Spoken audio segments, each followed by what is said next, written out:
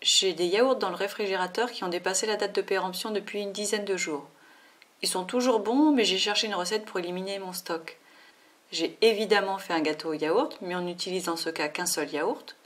Après quelques recherches, j'ai également trouvé une recette de petit pain express qui utilise deux yaourts à la fois et que je vous présente maintenant. Outre le fait de me permettre de me débarrasser de deux yaourts d'un coup, cette recette permet d'obtenir en un temps record des petits pains puisqu'ils lèvent à la levure chimique et non à la levure de boulanger. Il faut au plus 10 minutes de préparation et 15-20 minutes de cuisson. Je m'en suis servi pour faire des hamburgers à mes gourmands du jus du midi et ils en ont redemandé. Voici les ingrédients, c'est tout simple. 2 yaourts nature, soit 250 g de yaourt, 380 g de farine, un sachet de levure chimique, une petite cuillère à café de sucre, une demi-cuillère à café de sel, 4 cuillères à soupe d'huile d'olive et un peu de lait ou de jaune d'œuf pour dorer. Dans le bol du robot muni d'un pétrisseur, je mélange le yaourt et l'huile, puis j'ajoute le mélange farine, sucre, sel et levure. On arrête le robot quand une boule se forme. On peut aussi faire cette pâte à la main. Et c'est là que je vous dévoile la botte secrète qui fait toute la différence. Car si on forme des petits pains tels quels, ils seront bons, mais pas très beaux, comme ça.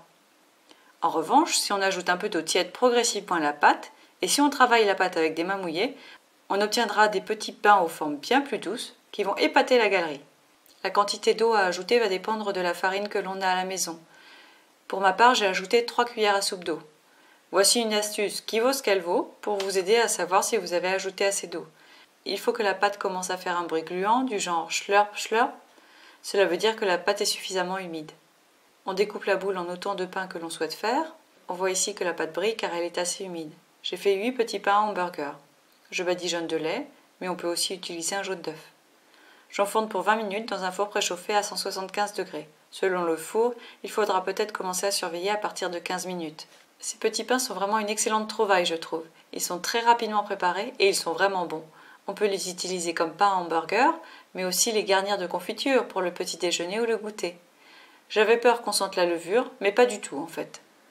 Découvrez mes autres recettes de petits pains et comment on peut leur donner des formes amusantes dans ces vidéos. À bientôt!